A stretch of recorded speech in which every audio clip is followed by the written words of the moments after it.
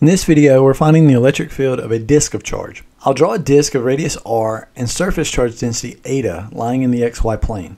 We'll look at the field at a point P above the disk on the z-axis.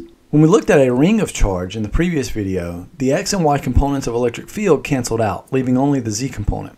The same is true here. A disk can be made by stacking many rings of increasing radius from 0 to r, or we can imagine taking a ring and stretching it into a disk. For this reason, we can use the result for a ring of charge that we obtained in the last video. The ring, in this case, has a small thickness, delta r, and carries a small charge, delta q. As we imagine stretching this ring of charge, the amount of charge in a given ring will change as the radius of the ring varies. As the radius changes, the distance from P also changes. Since these terms are not constant, we must integrate, and these terms will be behind our integral sign.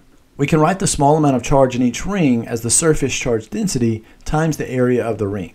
To get the area of the ring, we can imagine cutting the ring and rolling it out into a rectangle. The length of this rectangle will be the circumference of the ring, 2 pi r, and the width is the small length dr.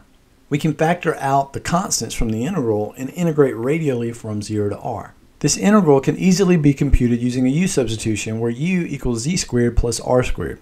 The derivative of u with respect to r is 2r, and solving for r times dr, which is what we need to substitute for, we find that it's equal to du over 2.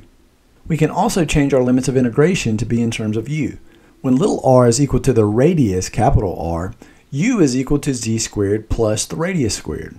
And when little r is equal to 0, u is equal to just z squared.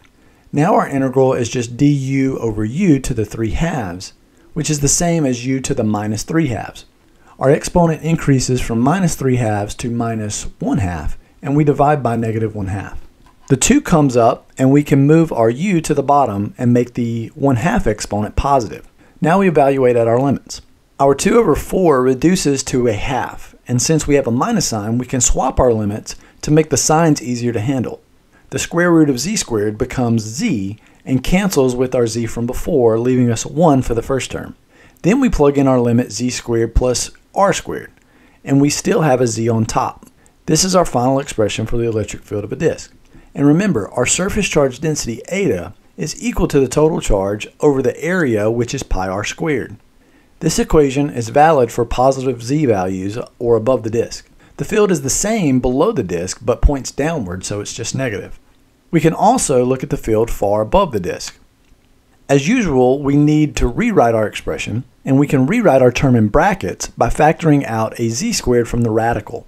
It comes out of the radical as just z, since the square root of z squared is just z, and cancels our z from the numerator. Now we can use a binomial approximation, which says that 1 plus x raised to the n is approximately 1 plus n times x, when x is very small. In our radical, z is much greater than the radius, capital R, so r squared over z squared is very small. It can be written as 1 plus a small number raised to the minus 1 half power, so minus 1 half is our value of n in this approximation.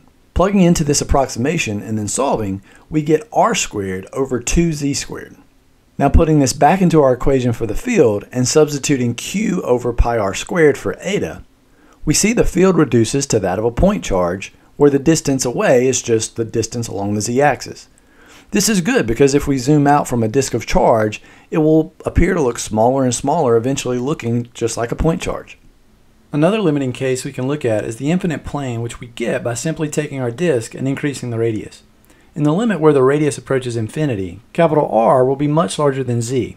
Since the denominator of our second term in brackets is getting very large, that term goes to zero, leaving us with just the surface charge density over 2 epsilon. This is an interesting result because notice that there is no z dependence. That means the field strength doesn't decrease as you move away from the plane of charge, so the field is uniform or constant. This result is technically true for an infinite plane, but it is still a good approximation for the field of a finite plane or plate of charge as long as you want the field at small distances away relative to the size of the plate. We'll see this result again soon when we talk about parallel plate capacitors.